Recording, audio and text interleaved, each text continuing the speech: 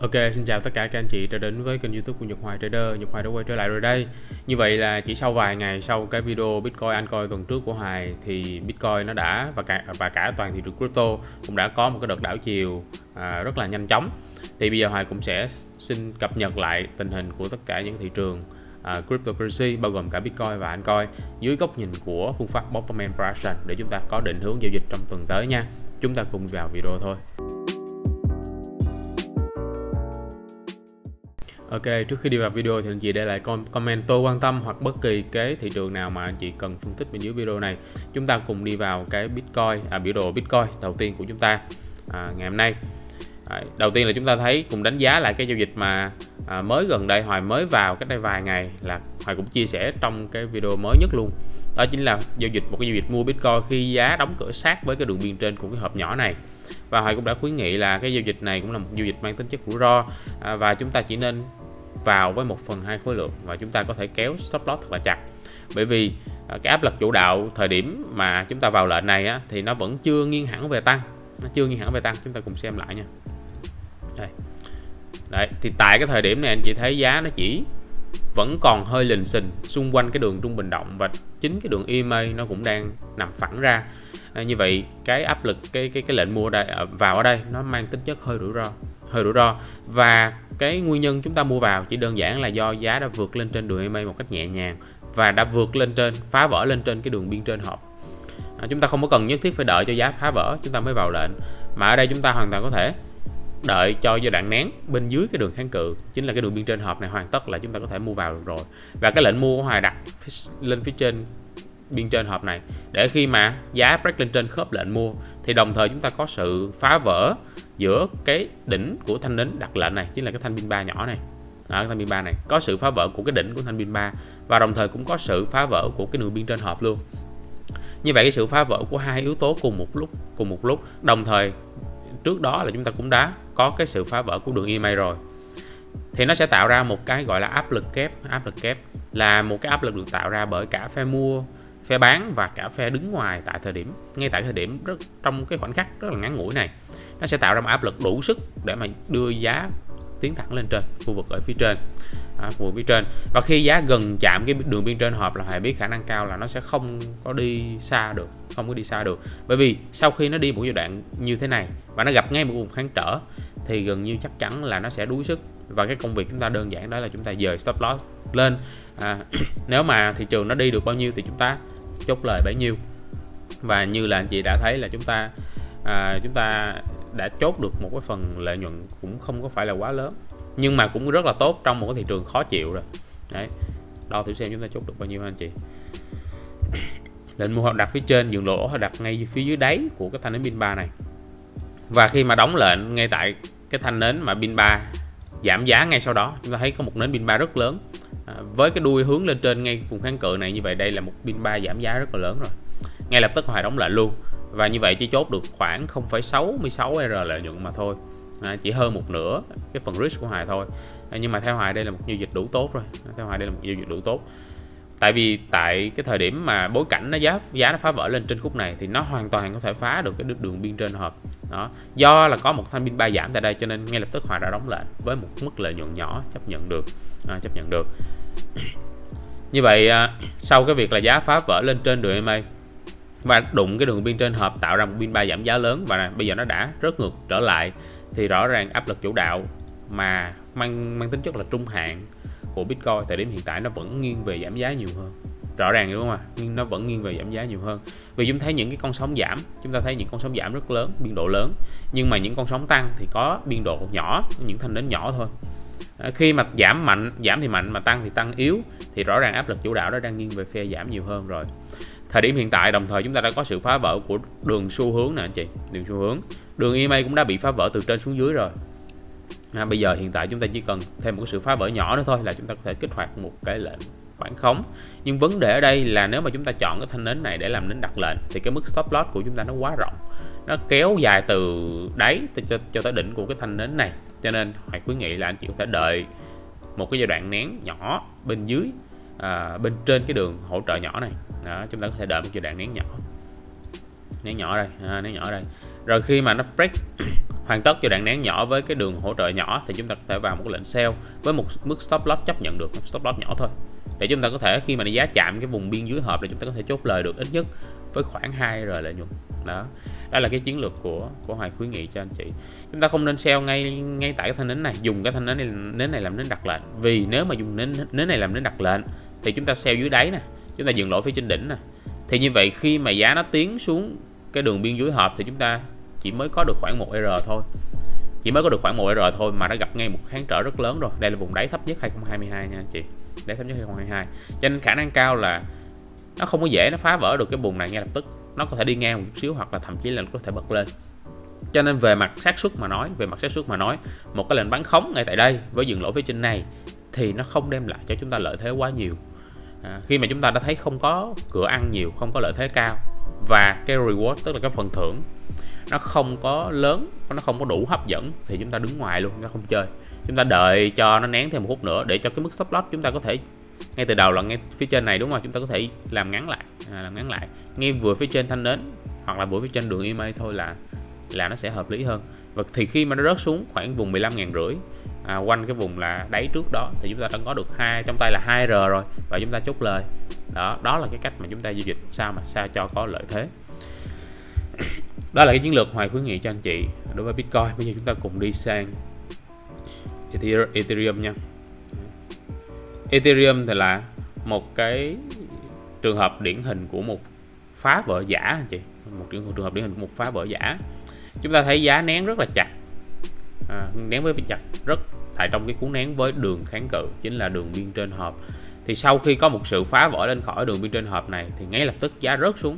Ngay lập tức rớt xuống không thể nào giữ được phía trên đường biên trên hộp và rớt xuống thẳng xuống đường EMA luôn. Như vậy à, về mặt kỹ thuật về mặt kỹ thuật theo phương pháp bobman đây là một phá vỡ giả.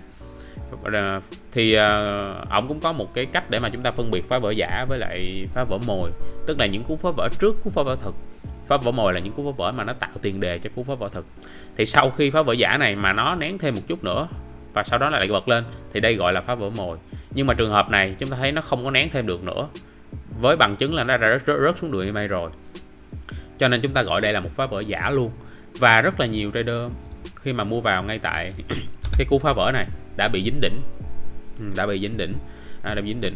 Hoài thì Hoài không khuyến nghị anh chị mua ngay bởi vì Hoài chờ khuyến nghị anh chị mở chờ một giai đoạn nén chặt hơn với đường kháng cự. Và nếu chúng ta chọn cái thanh nến này làm thanh nến đặt lệnh thanh nến đặt lệnh. Đây là nến cuối cùng trong cuốn nén thì chúng ta phải mua phía trên đỉnh đúng không ạ? Buy stop phía trên đỉnh. Buy stop phía trên đỉnh thì lệnh chúng ta đã không được khớp và rất là may mắn chúng ta thoát được cái cú phá vỡ giả này. À, cú phá vỡ giả. Rõ ràng phá vỡ giả hay là phá vỡ thực thì nó có những cái điểm rất là khác biệt. Có những điểm rất là khác biệt. Đây vẫn là một tiềm năng phá vỡ thật nha anh chị đây vẫn một là một tiềm năng phá phá vỡ thực, vậy anh chị thấy nè tại cái thời điểm mà nó phá vỡ lên đó, chúng ta cùng coi lại thời gian chút xíu. Đây. Đấy. Tại thời điểm nó phá vỡ lên đây là một cú phá vỡ mang tính chất của phá vỡ thật anh chị. Đây là một cú phá vỡ rất là rất là tốt rất là chắc. Đó chúng ta thấy giá của một giai đoạn nén sát với đường kháng cự. À, sát với đường biên trên hợp. Đây là nguyên giai đoạn nén của nó nè. Đó. chúng ta thấy giá có một thanh đính tăng tốt break lên trên cái đường kháng cự này break trên đường kháng cự này. Và chúng ta thấy giá gần như đã nằm hoàn toàn lên phía trên đường EMA rồi cho nên và phía trên của nó phía trên của nó hầu như là một cái bầu trời rộng mở không có quá nhiều kháng trở. Ít nhất là nó phải chạm lại cái vùng à, vùng mà mà mà dằn co ở phía bên tay trái này thì nó mới gặp một ít kháng trở gặp một ít kháng trở. Nhưng mà tại thời điểm đó nếu mà chúng ta mua được tại đây thì nó đã tăng lên tới đây là chúng ta có được bèo lắm 2R đến 3R rồi. Đó. Như vậy là tại cái thời điểm này tại cái khoảnh khắc này một quyết định đặt lệnh mua phía trên đỉnh, buy stop phía trên đỉnh là hợp lý, là hợp lý nha anh chị, là hợp lý. Mà may mắn là chúng ta không có bị khớp lệnh và chúng ta bị dính đỉnh, may mắn là như vậy. Cho nên nó là nếu mà anh chị vào một cái lệnh mà chúng ta bị dính ngay một phá vỡ giả như thế này, nhưng tại thời điểm mà chúng ta đặt lệnh, cái giai đoạn nén nó đã đủ chặt chẽ, chúng ta đã có đủ lý do để vào lệnh, giá đã phá vỡ lên trên đường biên, trên hợp và phía trên không có quá nhiều kháng trở, thì nếu mà chúng ta bị dừng lỗ, chúng ta vẫn chấp nhận. Chúng ta vẫn chấp nhận chấp nhận. Vì chúng ta đang làm một cái việc có có lợi thế cho chúng ta trong dài hạn. Là tại thời điểm này thị trường nó đã có nhiều lý do để nó có tăng, để nó tăng trưởng tiếp rồi. Và nếu mà chúng ta cứ tiếp tục, cứ tiếp tục vào lệnh với cái cách này nữa, cứ tiếp tục vào lệnh, thì những lần sau, thay vì phá vỡ giả thì chúng ta sẽ gặp những phá vỡ thực và đó là những thứ đem lại lợi nhuận cho chúng ta. Chứ không phải là vì một cái lần chúng ta bị dính một phá vỡ giả. À, mà chúng ta lại kết luận là à, phương pháp không hiệu quả hay là à, phương pháp để tới thời điểm ít nhất là nó đã hiệu quả trong quá khứ nhưng tới thời điểm này nó đã không hiệu quả nữa rồi. Đó là một kết luận sai. À, đơn giản là vì tại một thời điểm bất kỳ à, trên thị trường thì mọi cái chuyển động giá nó mang tính chất ngẫu nhiên rất cao. Đúng không ạ? Mang tính chất ngẫu nhiên rất cao. Nó có thể đi lên à, nó có thể đi lên có thể đi ngang nó có thể đi xuống như này như này. Hướng nào cũng đúng hết anh chị. Đó tại thời điểm thì mình đâu có biết được nó sẽ đi như thế nào. Đó, về mặt dự đoán thì chúng ta không thể nào biết trước được, không thể nào biết trước được là thị trường nó sẽ đi như thế nào trong tương lai. Và quan trọng hơn là chúng ta phải chấp nhận cái sự thật đó. Chúng ta phải chấp nhận là chúng ta không biết được tương lai nó di chuyển như thế nào. Cho nên chúng ta chỉ có thể làm được một cái việc đơn giản đó là vào một cái vị thế khi có một thiết lập đủ thuận lợi xuất hiện và quan trọng hơn là đặt stop loss. À, đặt stop loss. Vì cái mà chúng ta có thể kiểm soát đó là mức risk tức là rủi ro. Và chúng ta biết chắc chắn là nếu cái lệnh này ăn chúng ta ăn được bao nhiêu ăn được bao nhiêu nếu mà chạm chốt lời. Và nếu mà cái lệnh này thua cắn stop loss là chúng ta bị mất bao nhiêu chúng ta chỉ cần những cái thông tin đó thôi là đã đủ có thể thắng lợi trong dài hạn rồi. Đó. ok. Huyên Thuyên chút xíu về về xác suất và và cái cách được kiếm được tiền trong uh, trong trading không phải là từ những lệnh đơn đơn, đơn lẻ đâu anh chị mà là từ nhiều lệnh và cứ mỗi lệnh chúng ta lặp lặp đi lặp lại lặp đi lặp lại cái quy trình vào lệnh được coi là có lợi thế đó được coi là có lợi thế đó và cái quy trình này rõ ràng đã có lợi thế vì Hòa đã làm được, Bob Forman đã làm được à, và rất là nhiều trader khác đã làm được. Anh chị có thể lên mạng anh chị search Dan Zenger, Mark Minervini hoặc là nhiều, nhiều trader khác họ cũng sử dụng một cái nguyên tắc đơn giản như thế này thôi. Đó là nguyên tắc giai đoạn nén tích lũy dẫn tới một cú phá vỡ và dẫn tới một giai đoạn bùng nổ sau đó. Đó là cách giao dịch rất là thuần túy. Và bây giờ chúng ta cùng xem, à, chúng ta cùng xem là Ethereum có thể giao dịch như thế nào. Ethereum chúng ta thấy giá đã phá vỡ khỏi cái đường xu hướng rồi và bây giờ giá nó cũng đã gần tiệm cận cái đường biên giới hộp luôn rồi cho nên thôi bây giờ thay vì chúng ta chờ một giai đoạn nén để chúng ta sell nữa thì chúng ta cho nó rớt xuống dưới đáy hộp luôn đi rồi chúng ta chờ giai đoạn nén với biên dưới hộp để chúng ta sell tiếp theo là Litecoin nha anh chị Đấy. Litecoin là một cái giao dịch của Hoài vào cũng khá là may mắn. Ngay lập tức sau khi Hoài thấy là có một thanh nến. Break đường EMA break đường hỗ trợ. À, break đường hỗ trợ chính là biên dưới hợp. Thì Hoài đã vào một cái lệnh sell à, Hoài đã vào ở đây chỉ với một phần hai rủi ro thôi bởi vì đơn giản là giá chỉ mới rớt khỏi đường EMA thôi. Có nhiều trường hợp á, nó vừa rớt khỏi đường EMA thì nó có thể bật lên rất là rất là nhanh. Cho nên đây là cái kèo mà Hoài risk chấp nhận risk một phần hai thôi. Đó đây không phải là một giai đoạn nén chặt chẽ giữa đường biên giới hợp với đường EMA thực sự thực sự ra mà nói thì cái cú nén này nó chỉ tồn tại một một nến duy nhất anh chị. Dạ, Thấy không ạ? Cú nến cú nén này chỉ có một nến. Giữa đường EMA và đường hỗ trợ chỉ có một nến này nằm trọn bên dưới thôi. Và cái cái lệnh này cái, cái cái cú nén này cú phá vỡ này được kích hoạt chỉ từ cái sự phá vỡ giữa hai cái đường đường email và đường hỗ trợ cho nó hoài vào 1 phần 2 vị thế. Và kèo này tới thời điểm hiện tại có được khoảng 1R lợi nhuận. 1R thì chỉ lấy 1 phần 2 thôi là 0,5R 0,5R đấy. Với những kèo như thế này như thế này thì hoài cũng không khuyến nghị anh chị vào không khuyến nghị anh chị vào quá nhiều vì nó mang tính chất rủi ro cao. Và chỉ nên vào nếu mà chúng ta có được một cái cái cái kinh nghiệm và chúng ta quen được với cái phương pháp trong một cái thời gian dài thì chúng ta mới mới nên vào những cái kèo rủi ro cao như thế này.